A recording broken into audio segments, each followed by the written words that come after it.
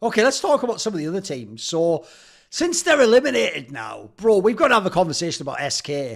I can't believe they did it to me almost every single split. Every split, I feel like they're like mini Fnatic. Because you know, it's always Fnatic and SK in the BO1s always like overperform. And you're like, wow, is it for real this time? And then, like, obviously, relative to their appropriate skill level, they both always flunk the playoffs, it feels, feels like. Like, Fnatic never does usually challenge G2 like they should. And SK has done this so many times, bro, where you think, bro, they're the real third best team. And the playoffs comes. And in the playoffs, no. And the worst thing about the playoffs is, I've got to ask you, because it's your boy. I have to flame your boy now.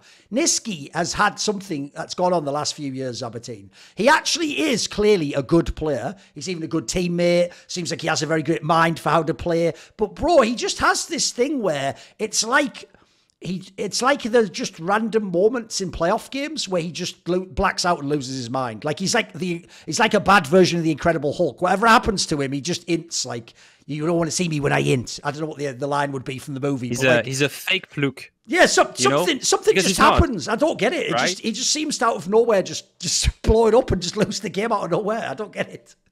I it is it is very hard. So I I have never been on the SK train. These splits, uh, everybody was like SK is the best. I was like, right. wait a little What were you guys. skeptical then, about?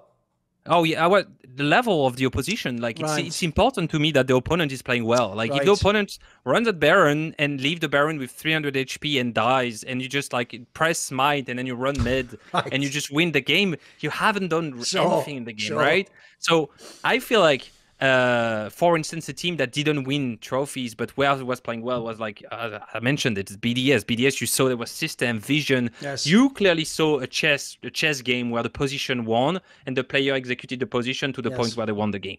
SK felt like they came into the LEC, which are the teams that are supposed to beat SK. G2, they play really bad the whole split. Fnatic, they had their bad runs, so they arrived middle of the slump and they played SK.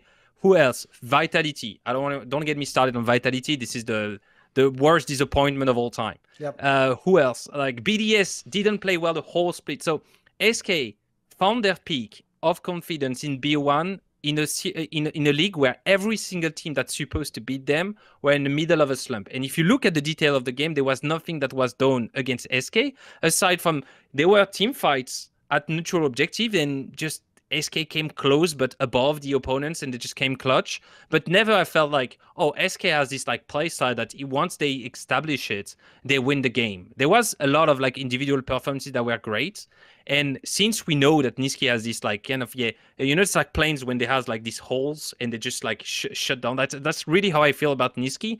And uh, I, I, cannot explain that. I think we've seen it so many times over the year that yeah. I think he himself is probably looking at himself. He must be aware. Like, what's on. wrong with yeah, me? Exactly. What, what, exactly. Right. You have the "what's wrong with me" uh, yes. uh, feeling when, when, when this happens. But once again, we have the disappointment of Nisqy with a team that plays around him, that he plays for the jungle, that looks really good, and the jungle support does things, and then it doesn't work. One thing I would say is these people, I would say Nisqy, I would say Elyoya, MDK, they're a little too aggressive. I think that there is this myth in League of Legends that to win you need to play aggro. And I think that if you ask me, right, who which which league is the favorite of Nisqy and Elyoya? I'm pretty sure they like LPL over the Must LCK. Be. Must be. Right? Because because there is this like meet you at meet you at Herald 5v5, right? Doesn't matter if it's the right play, just meet you and we're gonna like sell that up. And he's really good in these fights in the first 15 minutes of the game. But then the game kind of slows down and becomes way more strategical and positional. And I think in that in that regard, SK has never shown that it was a great team strategically. Like there was no pushing your pawns and trying to create a position. You saw it especially in the Kennen game.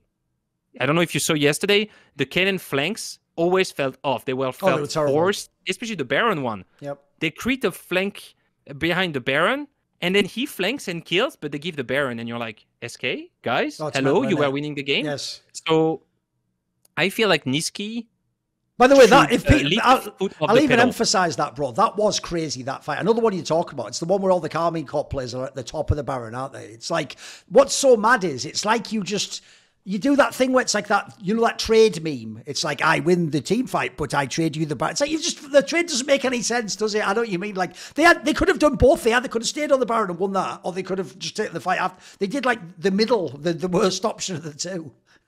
Yeah, because at least during the regular season they would get on Baron and flip it, but they were better yes. technically as a team. They were playing together.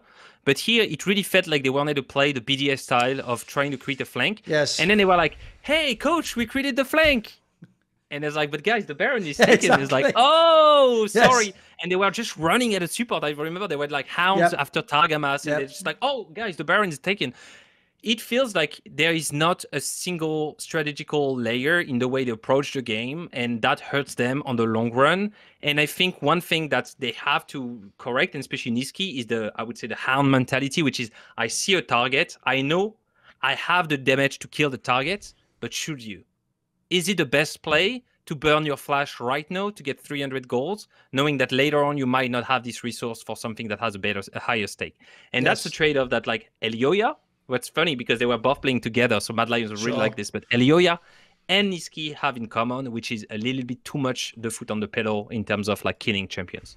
Oh no, the great irony of all is that obviously, if people don't know, that wasn't just like social media beef. Elyoya and Nisqy do not like each other and do not agree with each other on how to play a league. And that's why there's that story from Mike Harsey interview where apparently in the winter split last year, they just lost like every single scrim, though, even though they made the finals. Like they themselves don't even know how that happened. But the real irony, I agree, Sabatine, is I actually think that's like some Kobe Shaq shit where if they could both shut up, they clearly actually play together pretty well, in my opinion. Like they sort of are aligned. So I don't know why there's that beef because to me, when two players get together like that, just stay together, bro. Change the other players if you want. Change change Carzzy or fucking Hylissang if you want. But bro, you two, you two had it. I thought you actually had a, a, pretty good synergy. But for whatever reason, you have to be apart. Sometimes who the fuck knows why? Who knows? I wish Bo played with Nisqy, man. I, I really that's the dream, obviously, like, in it. Yeah, right. It's like it probably never never gonna happen, but right? It's my it's on my Santa Claus list. I, I please just bring back both. No, I just look at this play. meta. In this meta, mate, it would be glorious. Think about this: you'd have Born like Him a Nidalee or something, and then Hylissang could be a total maniac, and then Nisqy.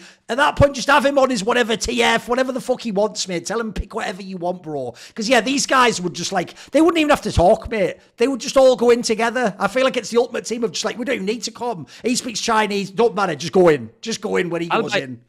I'll buy the jersey. No matter yes, who you play yes. for, if these three guys play together, I'll buy the jersey yes. because you know it's like uh, Bra- Brazil 1970. It's like win or loss. It's it's uh I'm not gonna pronounce it because my accent's terrible, but it's like you know beautiful game. It's it's the Barcelona 2008. It's like whether you lose or you or you win, the, the people you win the people's hearts because playing yes. aggressive on the edge on the jungle is really good but i don't think that Nisqy needs someone to play towards, and I don't think he had anyone because Isma is not this player, and I, I think Isma deserves his position in the LEC by, by far, but I'd love to see it at least once. Nisqy, Hylissang, and Bo for the craziest possible. And you can ask Carzzy and some type guy like Hirit or Photon, and I will be the happiest man because at least this team will lose at seven or win at seven, but we'll have the craziest games.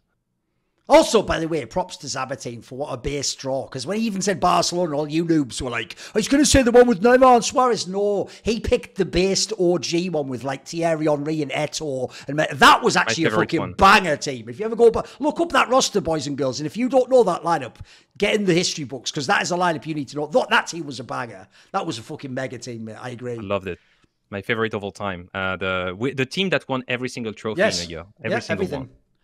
Right. That was crazy. What about um see more cool, funny, interesting clips based on topics from my content? Well, subscribe to this channel then, or you know, be a pleb and don't.